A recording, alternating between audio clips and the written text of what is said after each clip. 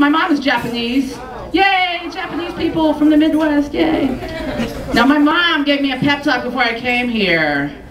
She's very supportive of my goals and dreams and all that. You know, you could be movie star. Not quite Halle Berry type of movie star. Maybe, maybe you be friend. Weird friended movie nobody like. So all focus go back to Harry Berry. Or maybe, maybe you be extra. Extra in pivotal restaurant scene behind Harry Berry.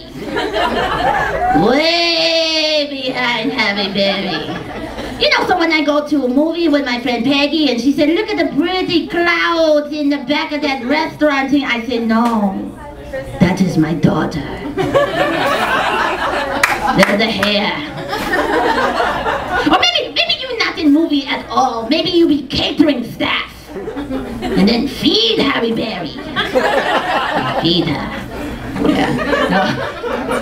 I always talk about my mom and my set, and people are always like, "Oh, what about your dad?" My my parents met when uh, my father was in the military, you know, and uh, I don't know, their marriage just didn't really work out. So when I grew up, uh, when I was growing up, I thought my father was the Loch Ness monster, because other than a few blurry photos, a couple of random sightings, you really didn't know he existed.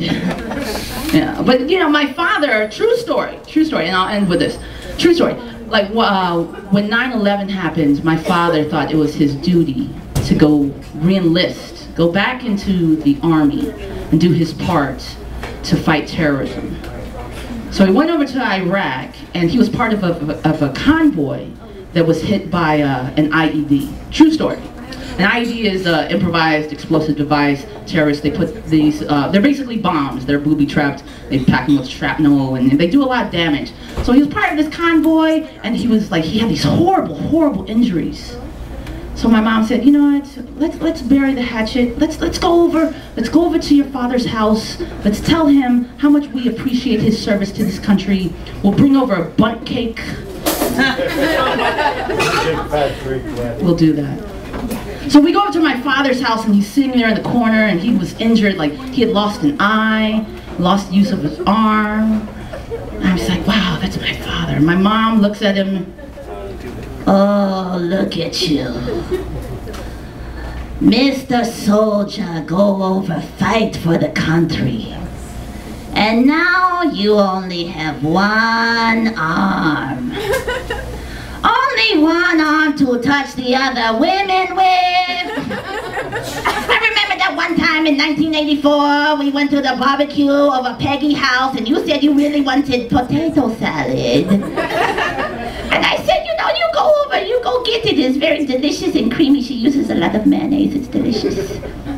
And you go and it takes an inordinate amount of time and I look over there and there you are rubbing and rubbing and rubbing and I say, you know I'm Japanese, I don't have the rubbing.